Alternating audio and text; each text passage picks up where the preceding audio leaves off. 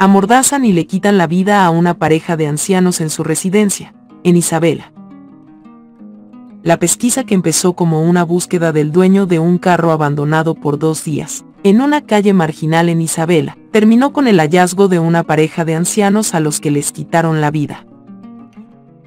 Alegadamente ambas víctimas fueron amordazados y tiroteados. La pareja fue identificada como Idelfonso Janeiro Rodríguez, de 83 años de edad, y Angélica Adorno Cruzado, de 77 años de edad. El crimen violento ocurrió dentro de la residencia de ambos, propiedad que ubica en el barrio Arenales Bajos, por la carretera PR 112. De acuerdo con la uniformada, fue a las 9 de la noche de ayer, miércoles, que se reportó el incidente. Los agentes estatales que acudieron a la escena corroboraron que los cuerpos de los perjudicados pertenecían a los propietarios del lugar. Sin embargo, fue el alcalde del municipio, Ricky Méndez, quien ofreció la información completa en una entrevista con Rubén Sánchez.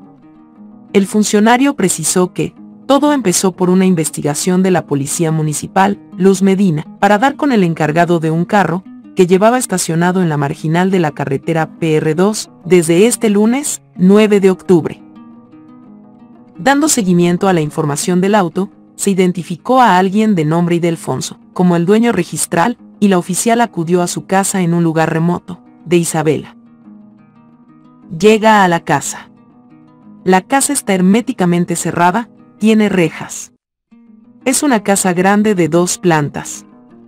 Estuvo un rato tratando de poder dar con las personas, y a través de unos vecinos que viven más abajo, es que se pueden dar con unos familiares, que comentan que llevaban ya dos días llamando a la familia, y no contestaban el teléfono, explicó Méndez. El alcalde dijo que, entonces fue que se notificó a la policía estatal, y con su ayuda, lograron ver por una ventana a uno de los cuerpos. Luego de romper rejas, pudieron acceder y se toparon con la escena del crimen.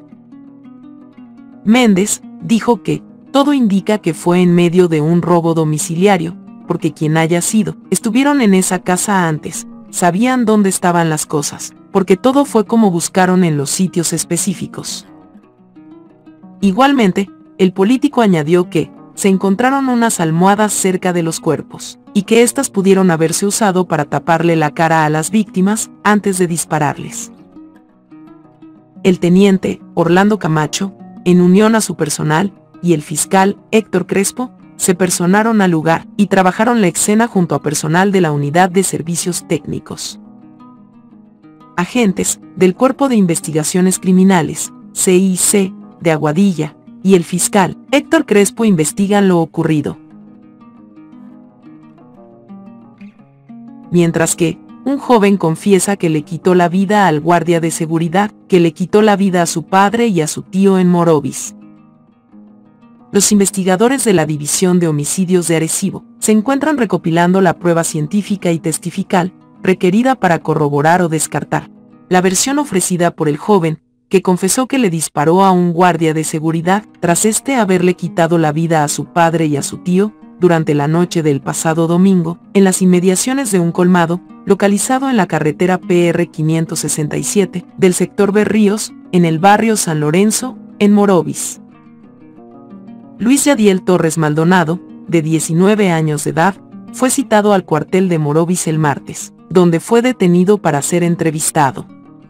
Este declaró que, tras el guardia de seguridad, Juan Carlos Rivas Santiago, de 48 años de edad, dispararle a su padre, José Luis Torres Rosado, de 39 años de edad, y a su tío, Jaime Luis Torres Rosado, de 36 años de edad, tomó el arma de fuego de su progenitor, que estaba sobre el piso, y le disparó. Una vez se complete la investigación, la Fiscalía de Arecibo determinará si procede la erradicación de cargos criminales o si se corrobora la versión de una posible legítima defensa. La certificación de autopsia de Rivas Santiago es una evidencia importante para aclarar el testimonio del detenido, que no posee antecedentes penales. Los hechos se reportaron a las 11 y 51 de la noche, como presunta secuela de un incidente previo en el negocio, de acuerdo a una de las teorías preliminares que surgieron. Rivas Santiago estuvo en el negocio y se fue tras el altercado. Posteriormente, llegó en una guagua Toyota Tacoma, entró al bar donde le disparó a Jaime. A su salida hirió mortalmente a su hermano, quien portaba un arma ilegal, y a una tercera persona. El hombre que resultó herido de bala fue dado de alta. El agente, Alexis Camacho Soto, adscrito a la División de Homicidios del Cuerpo Investigaciones Criminales, CIC, del área Arecibo, junto a la fiscal, Yolanda Pitino Acevedo, tienen a cargo la pesquisa. Las autoridades continúan la búsqueda del sospechoso de haberle quitado la vida a su vecino en Río Piedras. Agentes de la División de Homicidios del Cuerpo de Investigaciones Criminales, CIC, de San Juan, continúan en la búsqueda de Ramón Marte Antonio, de 39 años de edad, sospechoso de haberle quitado la vida a un vecino, en hechos ocurridos el pasado 7 de julio, en la calle Padre Colón, en Río Piedras. Según la investigación de la policía, la víctima, identificada como Emanuel Ortiz Collazo, de 35 años de edad, sostuvo una discusión con su vecino, identificado como Ramón Marte Antonio. Este último fue al apartamento de Ortiz Collazo, y haciendo uso de un arma blanca, le infligió múltiples heridas. Posteriormente, el hombre fue llevado al Hospital San Francisco, donde perdió la vida, mientras recibía asistencia médica.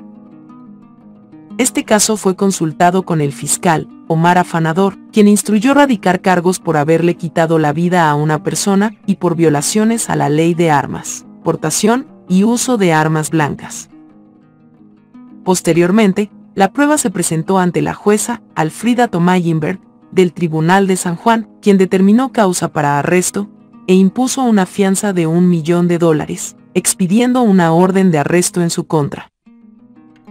La agente, Erika Baez, adscrita a la División de Homicidios del CIC de San Juan, estuvo a cargo de la pesquisa. Y fue acusado un entrenador de baloncesto, por haber abusado y embarazado a una menor de edad. Cargos criminales fueron radicados contra un entrenador de baloncesto, imputado de haber abusado de una menor de 14 años, a quien embarazó.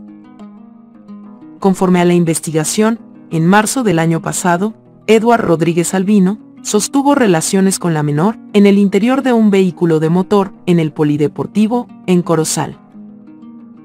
La fiscal, Daniela Mejías Burgos, presentó un cargo de agresión contra Rodríguez Albino, en virtud del artículo 130A del Código Penal de Puerto Rico.